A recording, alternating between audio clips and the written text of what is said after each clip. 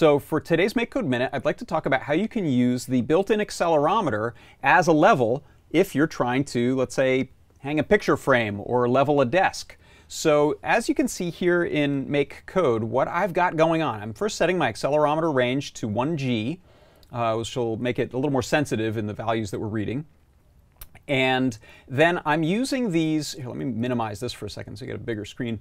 I'm using these uh, if, else if, else if blocks to test against the condition of the accelerometer reading on X being either below 20, uh, or I should say below 20 and uh, above negative 20. That's the little band where I'm considering us to be right in the middle. Uh, it's sensitive enough that I couldn't just use zero.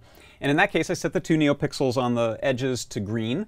If we are less than that 20, then we're tilted this way and we set two neopixels to red. And the opposite is true if we're uh, greater than negative 20, we'll go in the other direction. Uh, you can see right here in the simulator that I can tilt the little virtual Circuit Playground Express to test this out. Uh, and if we take a look at my uh, down shooter, I've got it running right here. So right now, let me hold, hold it in my hand. You can see if I tilt this way, I'm too far in one direction, too far another, and just right. Oh, there we go, just right. So if I set that on my desk, we might get it to, yeah, it looks like my desk is level. That's great. Uh, so that's one way that you can create a bubble level right inside of Make Code for the Circuit Playground Express. And that is your MakeCode Minute.